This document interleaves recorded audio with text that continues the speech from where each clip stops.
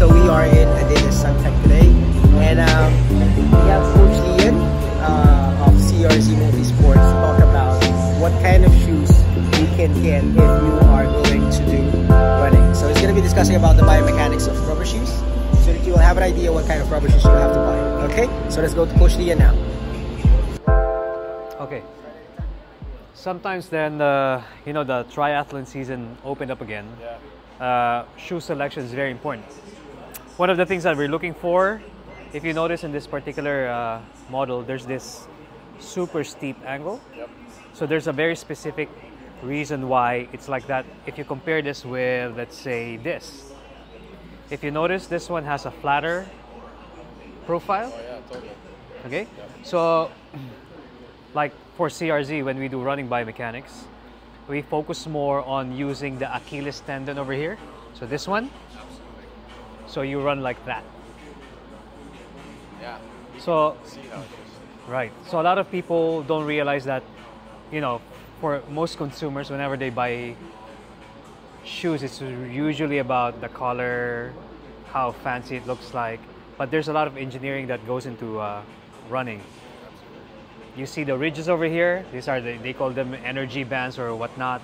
But these ones are the ones that keep your plantar fascia plantar stable. This one is made from real rubber tire from Continental, so they're uh, they last longer. But the most important part of the shoe is that. That's the magic. Okay, that's why when you look at the sprinters, uh, most of the fast runners, they don't run like this. Sure. Of course. So this one is really prevalent to most newbie runners, and this is what they call heel striking. And that's the reason why a lot of shoe manufacturers right now try to make this as thick as possible instead of teaching runners how to run naturally, which is like this.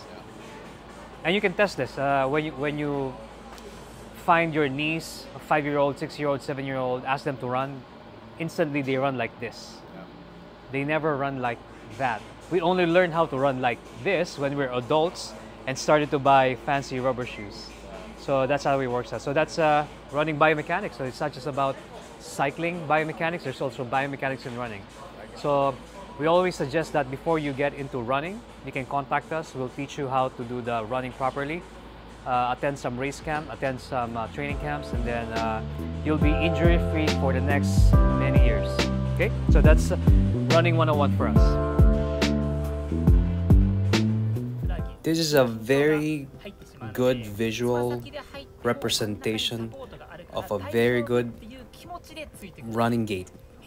Very biomechanically efficient, where you use your um, Achilles tendon. Remember, the Achilles tendon was designed by nature for us to really be running, not the quads. And in a slow motion shot, this is how it looks like. Our Achilles tendon was developed for thousands of years to make us very efficient in running. And in a very quick snapshot, look at the Achilles tendon as it absorbs and rebounds the feet for acceleration. There are very specific shoes that were designed to really focus on the Achilles tendon activation. Because uh, if you look at any child, that's how they run. Check it out.